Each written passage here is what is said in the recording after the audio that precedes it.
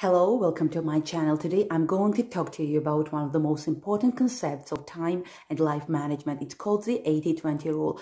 80-20 rule is also called the Pareto principle, named after its founder, Italian economist Vilfredo Pareto in 1895. Italian economist Vilfredo Pareto observed that 80% of Italy's wealth came from 20% of its population. Although he was inspired by his pea plants while he was walking in this garden, he noticed that 20% of the plants grew 80% of healthy spots we can take Pareto's 80-20 rule and apply it to almost any situation. In particular, we can apply it to goal setting and productivity.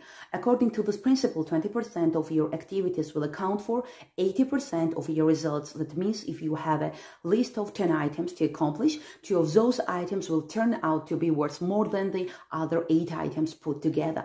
The sad fact is that most people procrastinate on the top 20% of items that are the most valuable and important, the vital few that account for for all your success and instead they busy themselves with the less important 80%, the trivial many that contribute very little or nothing to their success. In order to effectively apply 80-20 rule to goal setting and to your overall productivity, First thing you have to do, take a piece of paper and write down five goals. Then ask yourself if you could accomplish only one goal from these five goals, which would have the most positive impact on your life, on your future. Work at that goal all the time. You often see people who appear to be busy all day long, but seem to accomplish very little. This is almost always because they are busy working on tasks that are of low value or no value, while they are procrastinating on the one or two activities that can make a real difference to their life. The most valuable tasks you can make each day are often the hardest and most complex, but the payoff and rewards for completing those tasks is tremendous. It really can change your future, your life. Before you start work, always ask yourself, is this task in the top 20% of my activities or is it in the bottom 80%? And like Brian Tracy is always saying, is it the most valuable use of my time right now? Follow the powerful Pareto principle. And at the end, I want to share a very interesting story. I once read that Charles Schwab, president of Bethlehem Steel in the early 20th century, met with public relations and management consultant Ivy Lee because he wanted to improve his company's productivity. We know what we should be doing, explained Schwab. Now, if you can show us a better way of getting it done, I will listen to you and pay you anything within reason.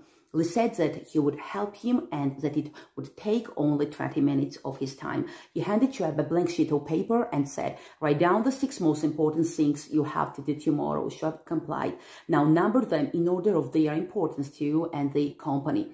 When Schwab had finished, Lee continued, now put that paper in your pocket and first thing tomorrow morning, take it out and look at item number one. Don't look at the other, just number one and start working on it and stay with it until it's completed. Then take item number two the same way, then number three and so forth until you finish it.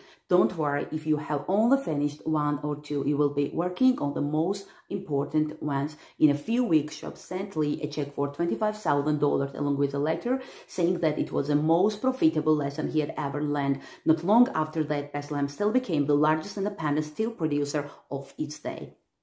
Thank you so much for listening. I'll talk to you soon. Let's make the world together a better place to live. If you like the video, please subscribe to my channel. Till the next time.